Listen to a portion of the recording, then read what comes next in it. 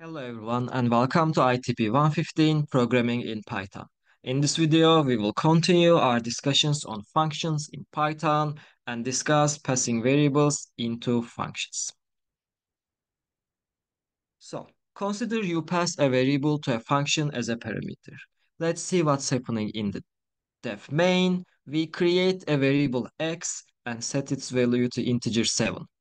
After that, apparently we call a function named cool function and put this x as an argument in there. So this cool function apparently has an input.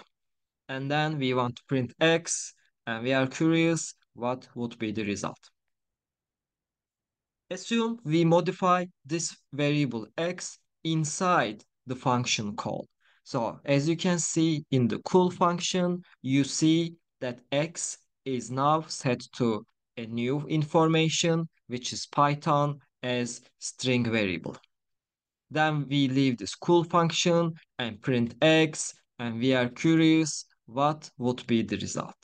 And the changes will be relevant whether our variable is mutable or changeable or immutable or unchangeable. So there is an example we see here, but I want to apply these ideas on PyCharm. So I put this information here, def main, def double this, and main function. So let's see what's happening in this function. This is our main, and we create a variable num, which is equals to 3. It is right now an integer. Next line is print num before double this. So even if we don't know what's going on, if we run this code, you will first call the main function. Next, you enter the main function and you set a new variable and it, its value to integer 3.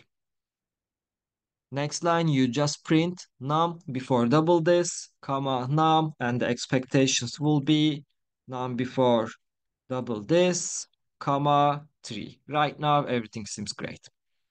Then we call double this and use this num variable as an argument. Call this function. When you call this function in Python, you will immediately go to the definition and run all the statements in there. So here you will set a new value to num and it is num plus num and you will print it. So again, number is 3 and I am putting 3 inside double this function. So now this is 3 plus 3 or just 6. So you are basically overwriting your num variable to a new integer, which is 6. And if I print this, I think our expectations would be num inside double this colon 6 everything's great. There is no return here. So this is an example of a function with an input but no output. We, when we are done with this double this function, we will return to the program and continue from line 6. So num, num after double this colon question mark. And let's actually run this and see if we were correct num before double this, we printed 3, num inside double this, which is 6, then num after double this is still 3. This is a little bit interesting. Nothing is returned. I changed my variable inside this double this, but when I leave the function, the changes I made did not reflect on the variable. It is still set on 3. This happens because your num variable is immutable. So it is unchangeable.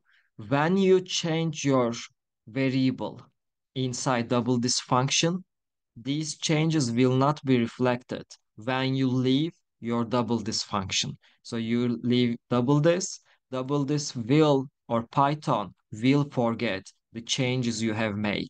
So you will still end up with num equals to 3. Let's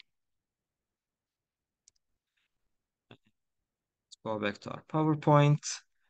What would happen if we pass, so this one was an immutable variable. Remember that integers, booleans, strings, we have worked with these in this class, floats, they are all immutable. Remember that list variable is mutable. And again, now you can check this slide on your own time, but I also want to show it on PyCharm. Now, we are almost doing the same thing, but with a list. It is list of two integers, 8 and 3. And now I am calling this nums. Again, if I call the main function, if I run this code, it will call the main function. These are my definitions, but let's go step by step. Call main function. After calling this, you or Python will go and run all the statements inside this main function. So I create a list here and I set it to 8, comma 3. So if I go to the next line, nums before grow list, it should still be my list. It should be still 8, comma 3. That's expected. Then I am going to call this grow list function. Call grow list function. And apparently I am using this nums as an argument for this function. So when Python sees this function call, it will go here and run all the statements. First, nums is still 8 and 3 as a list. Remember what append does. It adds the value at the end of your list. And the next step, it will add 7 as well to your list. Next line is print nums inside grow list. Now I expect to see 8, 3, 10, and 7 because I just made the changes. I added these values. So the expectation is to see this list. What happens when we are done with this function? Again, I don't see the return keyword, so no output to this function. Then I will just return to the program and continue from this line. And the expectation would be to see nums after grow list colon and again question mark. Let's see what happens when we use and change a mutable variable in a function. Again, maybe surprising, maybe we are happy to see this, but just because we used a list, a list mutable, just because we used a mutable data type, the changes you made in the grow list function will be reflected on when you leave the function itself. So you made changes to your nums variable here, but when you leave this function, the changes you make now is reflected on basically after you are done with the function call. So what's the takeaway here? If you are working with an immutable variable, changes you make inside the function will not change the original variable value. While if you make changes to your mutable variable, such as list, the changes you make will be reflected on even when you leave the function.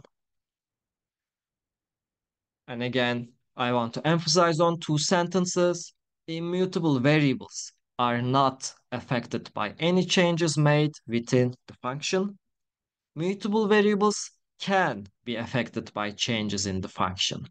And if you use maybe slices, or if you use append, or if you use delete, if you use dot sort, dot reverse, most of the methods or functions we have seen in this class will change your mutable variable. But there is this small star here and explanation is here. Assignment or equal symbol will not affect the original mutable variables. Again, let's cover this idea as well. I am basically doing the same thing, but I am changing the name of my function to change list. And rather than appending new elements, which are 10 and 7 in the previous example, now I will use assign and I will assign a new list to the nums. Again, let's very quickly check what's going on. When I run this code, first Python will call main function creates a list. It will print the list here and it will be again 8, comma 3. That's great. We use this list and put it inside the change list function. Then create another list. And we will print this nums now inside the change list function. And the expectation would be, okay, I just changed the whole variable. I will probably see nums holding a list with these five elements. What happens when we leave this line? So when we are done with change list function, we are down here. The program will continue from line 5. Let's run this again. Let me put it nums after change list and question mark. The first two are as expected. Nums before change list. Okay, it's 8 and 3. Nums inside change list. Okay, it is a list with 1, 2, 3, 4, 5. The difference here is you used an assignment operator. So you actually here created, I will just change this line, created another list, which was a local variable because you gave it a name, nums, variable name, equal sign, and you put a new list, which made this nums variable a local variable.